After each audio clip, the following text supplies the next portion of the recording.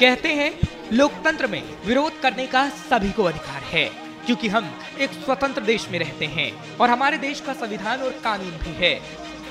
लेकिन आज हम आपको एक ऐसा वाक्य बताने जा रहे हैं, जिस पर कई सवाल खड़े होते हैं। आपने प्रदर्शन करते हुए बहुत लोगों को देखा होगा और ऐसा ही प्रदर्शन भोपाल में भी हुआ। कांग्रेस के कार्यकर्ता प्रदर्शन कर रहे थे और लोकतंत्र बचाओ का नारा लगा रहे थे। इस दौरान पुलिस आती है और उनको वहाँ से हटाती है, पानी की बौछार करती है और उन्हें पुलिस की गाड़ी में लाद दिया जाता है। और फिर उन्हें एक सुनसान जंगल में छोड़ दिया जाता है। जी हाँ सही सुना आपने, सुनसान जंगल में। साथ ही प्रदर्शन करने वालों के फ़ोन भी ले लिए जाते हैं। हालाँकि वो बाद में दे दिए जाते हैं, लेकिन ये वाक्य चौंकाने वाला है। कि प्रदर्शन कर रहे कार्यकर्ताओं को आखिर सुनसान जंगल में क्यों छोड़ा जाता है? क्योंकि ना तो कोई ऐसा कानून कहता है और ना ही ऐसा किसी किताब में लिखा है। आपको आगे की कहानी बताएँ उससे पहले आप इन प्रदर्शन कर रहे लोगों की जुबानी सच्चाई सुनिए। झगड़िया लेकर जंगल में। अच्छा। न पानी न चप्पल वप्पल कुछ भी नहीं थी खाने पीने को कुछ भी नहीं है। ज़्यादा कह रहे लट मार रहा है। अच्छा। तो फिर आपको कब ले गए थे? कब आए आप? सुबह ले गए थे शाम को हम खुद पैदल आए चप्पल वप्पल तो काटे मार। कितने जंगल में छोड़ दिया था बहुत अंदर मैं खुद नहीं मालूम क्या नाम है उस कितने जंग लोग थे ये सब? हम- करीबन बीस पच्चीस लोग थे। अच्छा। हाँ कुछ लोग तो रात को आए हम तो मतलब पैदल यहाँ काटे माटे सब चुप रहा है पूरा जख्मी होगा पैर में। पानी की बाडर तक नहीं है। पक्ष होता है विपक्ष होता है लेकिन इतना दुर्व्यवहार किसी के साथ नहीं किया जाता जिस तरह के ये सरकार कर रही है। भाई अगर प्रदर्शन कर रहे हैं तो एक डंडा लात घुसा एक अमूमन बात है कि मार के भगा दो। लेकिन अब आप गिरफ़्तार करके लेगा इस तरह से जाके जंगलों में छोड़ दोगे किसी के पास व्यवस्था है आने की, किसी के पास नहीं है, किसी के पास मोबाइल है, किसी के पास नहीं है। तो सुना आपने, हम जो बात कहते हैं वो किसी आधार पर ही कहते हैं, क्योंकि शेष भारत आपको हमेशा सच दिखाता है, और इसलिए हम सवाल भी पूछते हैं। सवाल ये है कि कोई कानून नहीं कहता कि आप किसी भी प्रदर्शन कर रहे व्यक्ति को अगर हिरासत में लेते हैं तो उसे किसी जंगल में ले जाकर छोड़ दें। इस पर कानून क्या कहता है, वो भी आपको जान लेना चाहिए।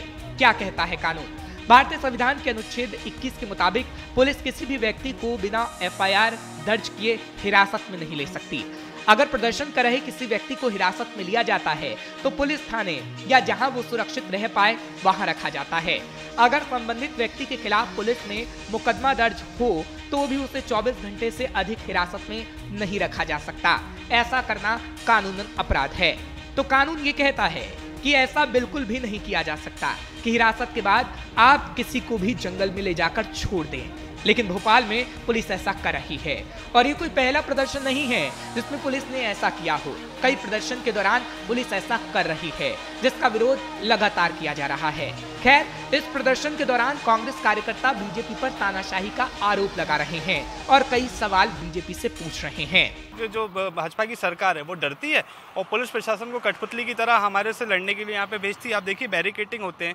इसमें आँसू गैस के गोले चलाए जाते हैं वाटर कैनन का उपयोग किया जाता है, लाठीचार्ज का उपयोग किया जाता है, और उसके बाद भी अत्याचार की पराकाष्ठा देखिए, फिर एफआईआर होती है, वो भी हमारे ही ऊपर होती है। आप इस तरीके के सैकड़ों मामले हमारे जैसे राजनीतिक कार्यकर्ताओं के ऊपर दर्ज किए जाते हैं, जिसमें ऐसी धाराओं का उपयोग किया जाता है जो कि अपराधियों के ऊपर लगाई जानी चाहिए। जिला बदर जैसी कार्रवाई के लिए भी हमें डराया जाता है कि आप अपनी आवाज़ उठाना बंद करें, वरना आपके ऊपर जिला बदर लगा दी जाएगी। तो ये कहीं ना कहीं पुलिस की, जिस तरीके की ये प्रणाली है, ये बिल्कुल ही निंदनीय है और इस तरीके से मानव अधिकारों का भी पूरी तरीके से हनन है। फ़िलहाल, विपक्षी पार्टी हो या फिर कोई और, लोकतंत्र में विरोध करने का अधिकार सभी को है। बशर्ते वो कानून के मुताबिक हो और ये कार्यकर्ता यही कहना चाह रहे हैं कि भोपाल में सरकार मनमानी कर रही है और कानून के मुताबिक कुछ नहीं किया जा रहा। खैर, श्रेष्ठ भारत खबर के हर पहलू को दिखाता है और यहाँ भी हम यही कहने की कोशिश कर रहे हैं कि हमारे देश में संविधान है, कानून है और उसके मुताबिक सभी चीज़ों को व्यवस्थित किया गया है। लेकिन इस मामले में ऐसा कुछ भी नहीं लगता जो कई सवाल उठाता है और इन सवालों को पूछा जाना बेहद ज़रूरी है, जो श्रेष्ठ भारत ज़रूर पूछता है और आगे भी पूछता रहेगा। यूँ ही नहीं कहा जाता कि एमपी गजब है।